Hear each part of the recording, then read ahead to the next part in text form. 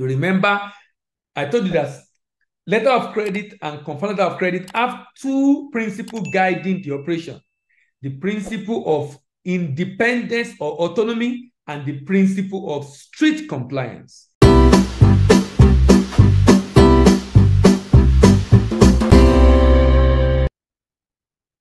Good day. My name is Dele Ayemibo. I'm your export doctor. Thank you very much for stopping by. In today's video, I'll continue the thoughts and the conversation we started some times ago on mitigating risk in export business. We've talked about mitigating risk in export business using letter of credit. We've talked about mitigating risk in export business using confirm letter of credit. We talked about mitigating risk export business using standby letter of credit. Today, I'll talk about mitigating risk in export business using demand guarantee. One of the major concerns of everyone coming into export business is the risk involved. And the major risk is the fact that what if I do the shipment and I do not get paid? How do I mitigate the risk of not getting paid? That's exactly what we're trying to solve in this conversation. How do you mitigate the risk of not getting paid? What if eventually you do the shipment and you are not able to get payment? We've talked about how to use letter of credit, how to use standby letter of credit, how to use confirm letter, confirm letter of credit. Today I'm looking at demand guarantee. Demand guarantee and standby letter of credit are functionally similar but structurally different. They are functionally similar in the sense that both of them can be used to protect against the risk of non-payment and many other risks, actually, both in trade and non-trade transactions. But they are structurally different because the rule that guide the usage of guarantee, demand guarantee, is called Uniform Rule for Demand Guarantee. But the rule that guide the usage of standby of credit is called international standby practice, uniform rule for demand guarantee, international standby practice, uniform rule for demand guarantee, international standby practice. And this is a major difference. This therefore create a major difference between standby. Let me give an example. If I present a document for payment in a standby letter of credit, I claim payment. The bank have seven banking, seven working days to pay me. If I present same document for payment under demand guarantee, the bank have just about five business days to pay me. You can see the difference in the two of them, seven and five. Guarantee cannot be confirmed. Standby of credit can be confirmed. So you can have confirmed standby, but you cannot have confirmed standby and confirm demand guarantee.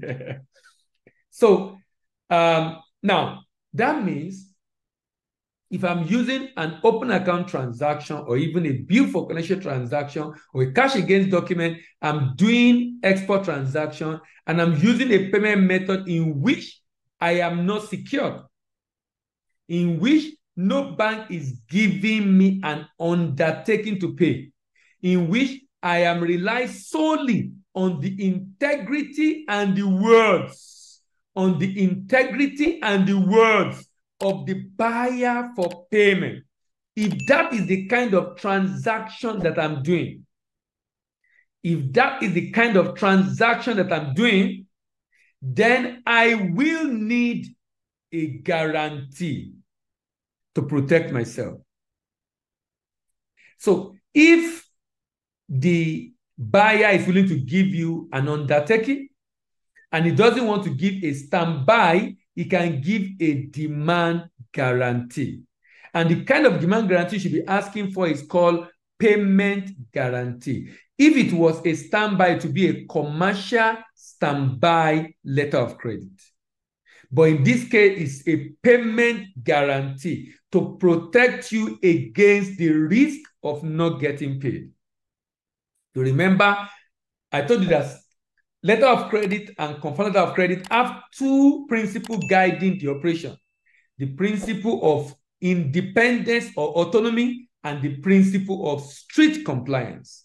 If you also remember when I was talking about standby letter of credit, I added one more principle in addition to autonomy and strict compliance, and that's the principle of no proof of default. You see these three principles, they are also applicable in demand guarantee. Remember, demand guarantee and standby letter of credit are functionally similar.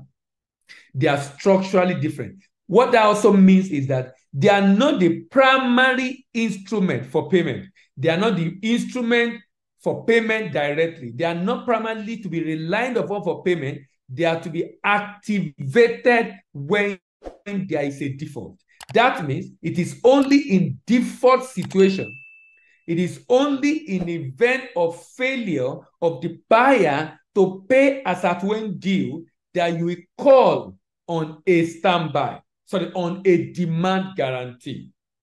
It is only in the event of a default. So if you are an exporter and a buyer is offering you a payment method that involves shipment of the goods, sending document afterwards, and waiting for payment to come afterward. That is often called open account or cash against document. That leaves you exposed to the risk of not getting paid. But the beauty is that you can now protect yourself against the risk of not getting paid by asking the buyer that, okay, if you're concern is that you don't want a letter of credit because of the issue of discrepancy, so why don't you do a demand guarantee? If if you don't want standby, if it's from the US, North America, it might want a standby. If from Europe, it might want a demand guarantee. If from Asia, it might be okay with either of them. But the and, and I've said in the last video that if the buyer say, okay, I, I want to give you, but I don't want to bear the cost. What of the cost? It's better you share in that cost and say, okay, 1%, 2%, charge it to me. Let's adjust my pricing. So you give me the instrument from your bank, and I will be okay with you give um paying the fee that you incur for me to just to be protected. The idea is this: you don't need to do a shipment without ensuring that you are sure of the payment. If you are not sure of the payment, it's better you have a representative at destination, and we'll talk about the issue of representative in future. But let me say something here. Let me say something here. When you are dealing with this kind of transaction in which you are using a guarantee it's also important you understand that there could be a discrepancy. The only difference is that the buyer will have cleared the goods. Remember, one of the challenge of letter of credit is discrepancy. The risk that I will have a letter of credit, but I will not be paid because of the issue of inconsistency in document. But in this kind of arrangement, be it standby letter of credit or demand guarantee, the importer will already have document. He will have been able to clear the goods. Even if there's a discrepancy, that can be sorted out. And that will not affect the concern he has, which is the issue of demurrage.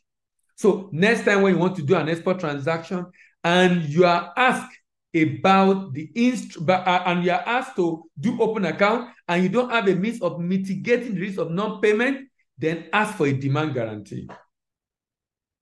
And if the buyer says he can't give you a demand guarantee, mm, maybe that's the reason why you should not go ahead. Unless you have a representative at destination, maybe that's the reason why you should not go ahead. Unless you have a representative at destination, maybe that's a reason why you should not go ahead. Unless you have other means of mitigating that risk. There's so many people that have lost money going into export.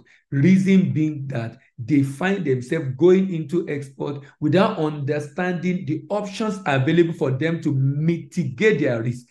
If you want to learn more about demand guarantee and standby of credit, I've written two books. One on demand guarantee is called Demand Guarantee Made Easy. The other one is called standby of credit made easy. If you check selar.co, selar, S-E-L-A-R.co, selar.co, you will be able to get. You can also drop your comment in the comment section, making inquiry about how do I get a copy? The soft copy are available online. How do I get a copy of the demand guarantee or stamp of credit? So you can have a good understanding because if you buy the book and you read about the guarantee and the demand guarantee stamp of credit, the two of them are protecting you. They are independent undertaking that are called upon when there is a default. So they are all they, they will be paid as long as the uh, the party who is beneficiary demand for payment and present requisite document, the bank does not need to prove that there is a default. I believe this video will have been of immense benefit to you